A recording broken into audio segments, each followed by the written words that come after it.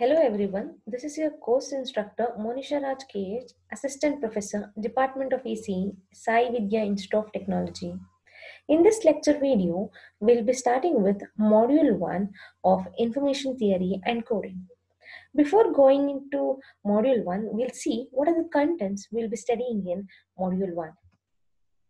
In Module 1, we'll be seeing uh, about the Introduction to Information Theory, Measure of Information, information content of message, average information content of symbols in long independent sequences as well as long dependent sequences, Markov statistical model for information sources, entropy, and information rate of Markov sources. The textbook to be referred for Module 1 is Digital and Analog Communication Systems by K. Sam Shanmugam. Before going into actual content of module 1, we need to uh, know what is basically an information theory and coding. Before knowing what is information theory and coding, we need to know what is an information. The meaning of the word information in information theory is basically a message. Information is the source of communication system which might be voltage or current or power, speech, picture, anything. After knowing what is information, what do you mean by information theory? Information theory is the mathematical approach where the quantization of a message take place, measuring of a message take place, storage of a message takes place, and communication of a message takes place. Combination of every all these things makes information theory. What do you mean by coding? Coding is compression of data, fighting against the noise, and encryption of data. These all things come under coding. So next is, what is the purpose of information theory? Information theory is basically a notion of data source and data transmission channel.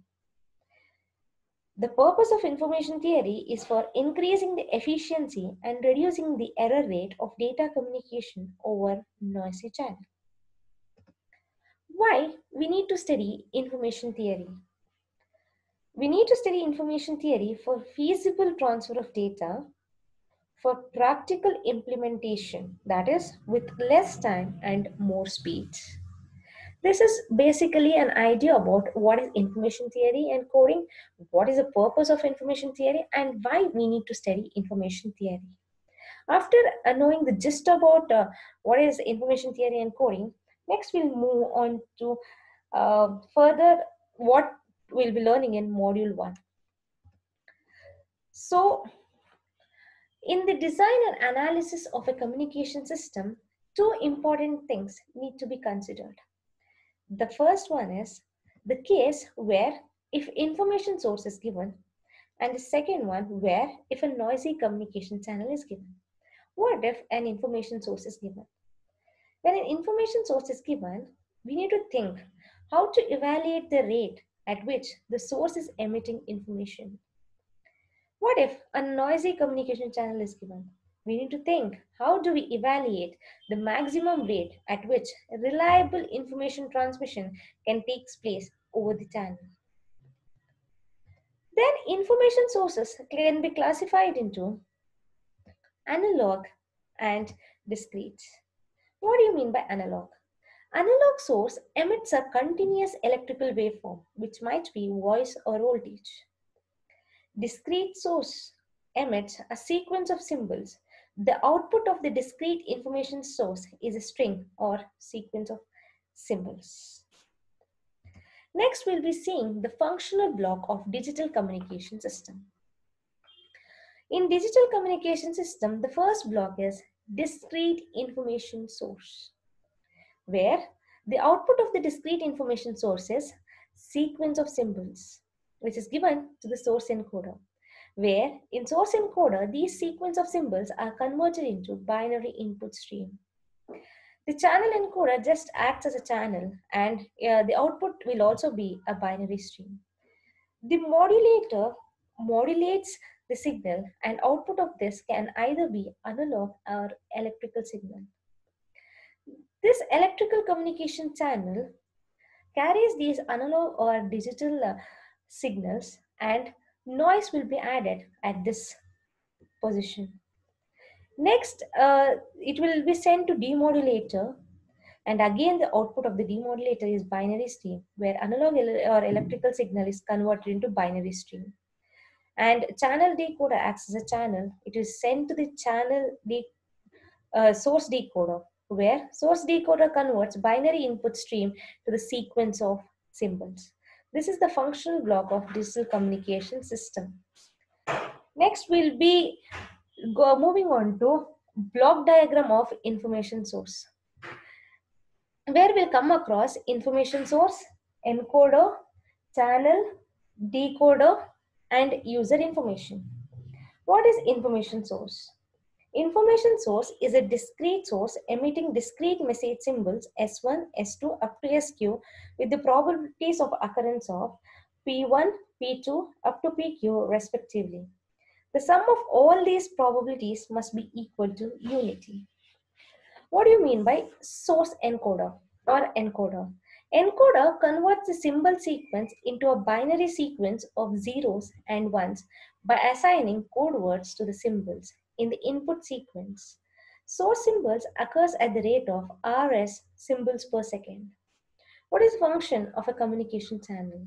A communication channel provides electrical connection between the source and destination. The signals will be corrupted by unwanted, unpredictable electrical signal referred as noise. The main objective of communication system design is to reduce the ill effects of noise as much as possible. The source decoder converts the binary output of the channel decoder into the symbol sequence. This is a function of source decoder. The transmitter couples the input message signal to the channel. That is, transmitter comprises of information source and encoder. The receiver is decoder and uh, user information. Receiver will always identify the symbol sequence and match it with the correct sequence. After understanding the block diagram of information system, we'll next move on to measure of an information. Before knowing the measure of an information, we need to know what is an information content of a message.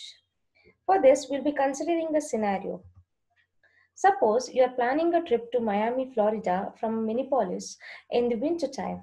To determine the weather in Miami, you, you telephone the Miami Weather Bureau and receive one of the following forecasts mild and sunny day, cold day, possible snow flurries. Here you need to explain the amount of information contained in each statement. So the amount of information received is obviously different for these messages. In the first case, that is, the first message contains very little information since weather in Miami is mild and sunny most of the time. In the second scenario, the forecast of cold day contains more information than the first information since it is not an event that occurs often. The third case, in comparison to the first two one, the forecast of snow flurries conveys even more information since the occurrence of snow in Miami is a rare event.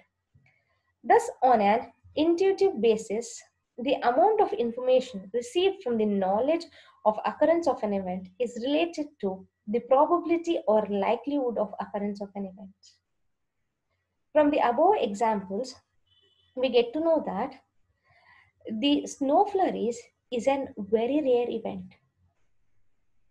That is, from the information what we have received from this is related to the probability of occurrence of that event. So from the above information, we get to know the information of a particular scenario is very important for us to know the occurrence of that event. Therefore, the message associated with an event least likely to occur contains most information. This is a scenario for understanding information content of a message. Next is what is measure of information? A measure is necessary to know the information content of various messages produced by an information source. Let us consider an information source producing independent sequence of symbols from source alphabets S equal to S1, S2, S3 up to SQ. This uh, symbols might be any alphabet, it might be M also, with the probabilities P equal to P1, P2 up to PQ respectively. Let Sk be the symbol chosen for transmission at any instant of time with a probability Pk. Then the amount of information or self-information of Sk is given by Ik, that is the information, self-information is inversely proportional to probability or Ik equal to log of 1 by Pk to the base 2 bits. When we are considering logarithm, if it's base 2, we represent it in the form of bits. If it's base 10, we represent it in the form of Hartley. And if it's base E, we represent it in the form of Nats. Next is, why logarithmic expression? It is because it cannot be negative. The information content or self-information of any message cannot be negative. Each message must contain certain amount of information. The second one is the lowest possible self-information is zero. If a self-information is zero, that means the event is sure to occur. That is, probability of the event will be one. Third one is more information is carried by less likely message. Fourth one is when independent symbols are transmitted, the total self-information must be equal to sum of the individual self-informations. These are the advantages of using logarithmic expressions for measuring information. Next, we'll be seeing a numerical. A source puts one of the five possible messages during each message intervals. The probabilities of these messages are P1 equal to half, P2 equal to 1 by 4, P3 equal to 1 by 8, P4 equal to 1 by 16, P5 equal to 1 by 16. Find the information content of the messages of these messages. So let us say the messages of the symbols might be M1, M2, M3, M4, and M5. As I told in the explanation, it might be M, S, or any alphabet. So first, information content of M1 is uh, probability of M1 would be 1 by 2. So substituting uh, 1 by 2 in place of P, P1, log of 1 by 1 by 2 to the base 2. Taking 2 to the numerator, we'll get it as log 2 to the base 2. It will be 1 bits. Second one, M2. I of M2 equal to log of 1 by P2 to the base 2. P2 is 1 by 4. So taking again 4 to the numerator, log 4 to the base 2 equal to 2 bits. I of M3, we again uh, take P3 value that is 1 by 8. So uh, substituting P3 as 1 by 8, take 8 to the numerator, again log 8 to the base 2, we get it as 3 bits. Uh, M of 4 and M of 5 is uh, 1 by 16. So substituting P4 and P5 as 16, taking 16 to the numerator and uh, log 16 to the base 2, we get it as 4 bits.